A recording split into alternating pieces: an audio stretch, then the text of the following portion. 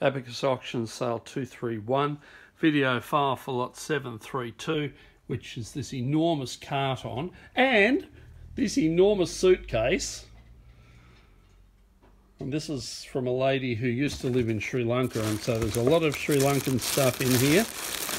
And there's lots of Australian stuff because when she came out here, she felt all patriotic and decided to give her money to the post office. And there's just masses of stuff in here in these uh, scrapbooks. There's uh, Ceylon first day covers in mixed condition because they've actually been in Ceylon and uh, poor paper to start with and uh, bad climate and that's what you get. Bit of other stuff, New Zealand, Australia, Sigma covers, I think her husband was a doctor. And uh,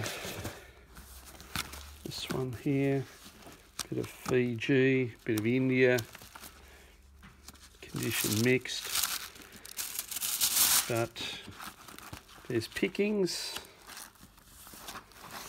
and there's lots of stuff in here. What's this one? Oh, gosh. After all this mucking around, it's probably empty. No, no, no, there's stamps in there.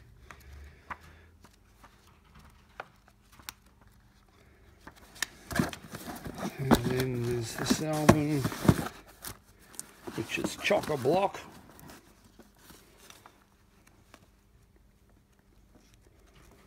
Well, chalk anyway.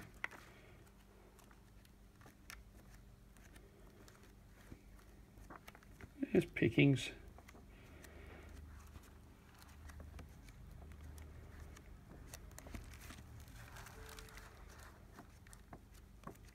Of GB.